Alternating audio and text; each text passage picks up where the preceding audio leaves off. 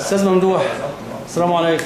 عليكم السلام. آه، في سلسلة جديدة آه، استطلاع رأي حول ما يصار ما تحت عنوان الإرهابيون الجدد المثقفون باسم الديمقراطية والعلمانيون وكل من ضد إرادة الشعب وضد إرادة ال- القوة الشعبية عاملين حملة ضد الشعب المصري كله وعلى رأسهم القوات المسلحة المجلس الأعلى للقوات المسلحة إرهابهم في موضوع الدستور أولا. ما رأيك في هذا الموضوع؟ بسم الله الرحمن الرحيم. اللي بيحدث في مصر الآن هو ديكتاتورية الأقلية.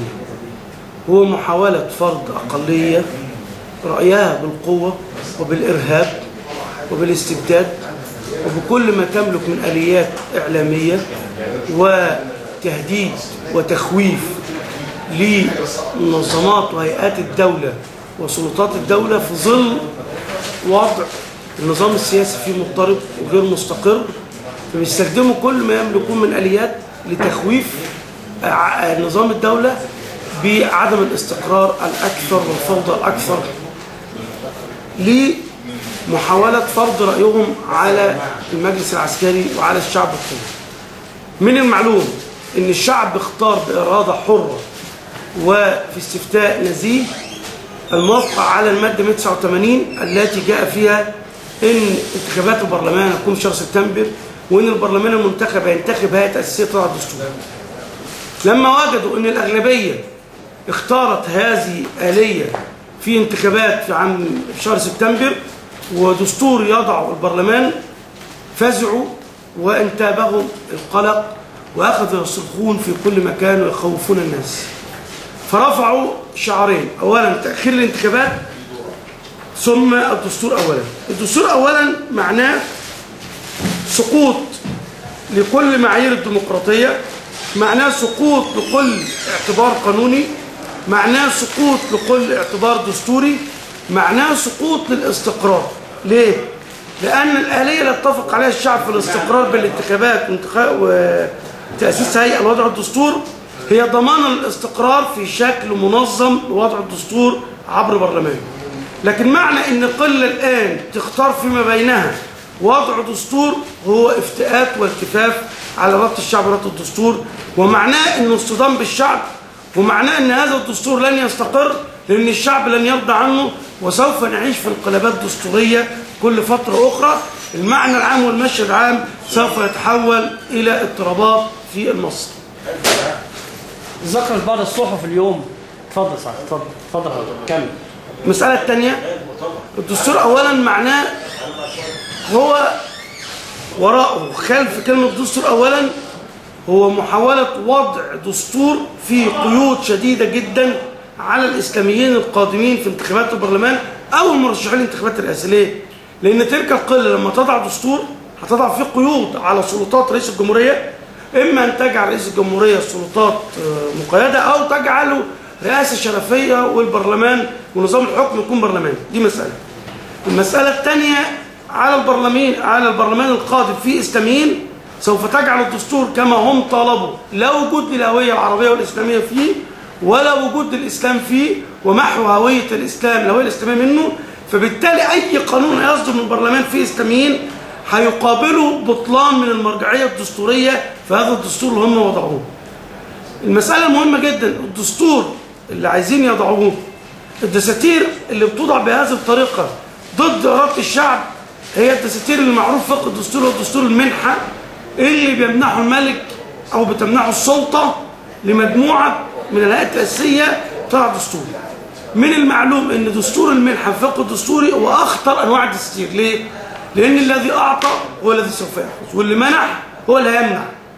فبالتالي هو دستور غير مستقر مطلقا بأي طريقة كانت المسألة الأخطر في الدستور أولا أنه معناه إلغاء إرادة الشعب المصري وفرض إرادة أقلية لا أفكار وأيديولوجيات مخالفة للنظام العام والهوية العامة للشعب المصري المسلم. بكل طريقة هم يحاولون فرض ما يريدونه.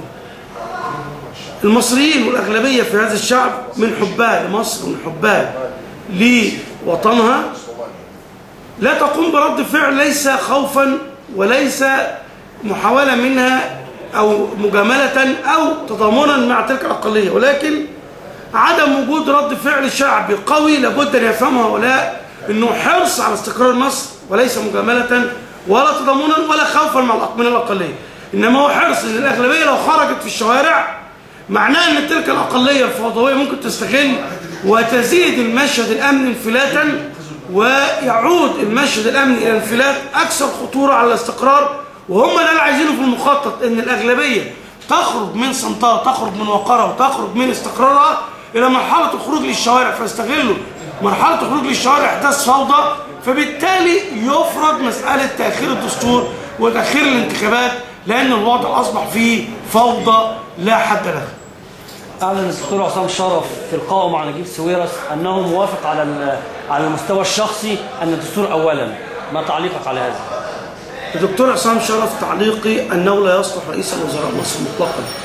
الرجل على المستوى الإنساني رجل آه، ينال كل الإعجاب. وأنا شخصيا أقدر إنسانيته وأقدر هدوءه ولطفه.